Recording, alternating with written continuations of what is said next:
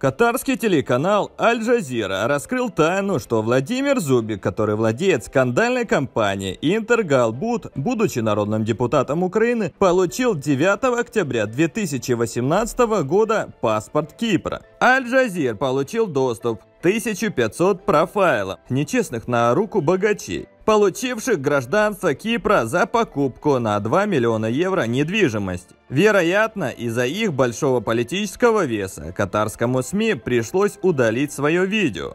Зубик оформил паспорта кипской офшорки также на 52-летнюю жену Елену Евгеньевну и дочь. К сожалению, публикация не уточняется ее имя, ведь у бывшего фаната Януковича их три. Юлия, которой 36 лет, Софья 24 года и Анастасия, ей 18 лет. Скорее всего, паспорт Кипра получила Юлия, ведь именно ей ее отец отписал элитную квартиру на Грушевского 9А. В этом доме проживает президент Владимир Зеленский. А к постройке этого незаконного доробла приложил руку экс-президент Петр Порошенко. Оказалось, что среди приобретателей кипрского гражданства есть большое количество людей, которые подозреваются в совершении уголовных преступлений, коррупции, а также находятся в международных санкционных списках.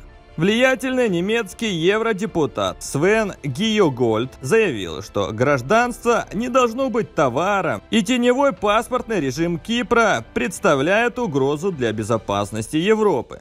Команда «Актуальная правда» уже неоднократно сообщала про огромное количество незаконных строек Зубика под брендом Интергалбуда в Киеве, Одессе и Львове. Мы требуем от правоохранительных органов Украины начать уголовное расследование про незаконное получение Зубиком паспорта Кипра во время каденции в парламенте, ведь в нашей стране запрещено иметь двойное гражданство.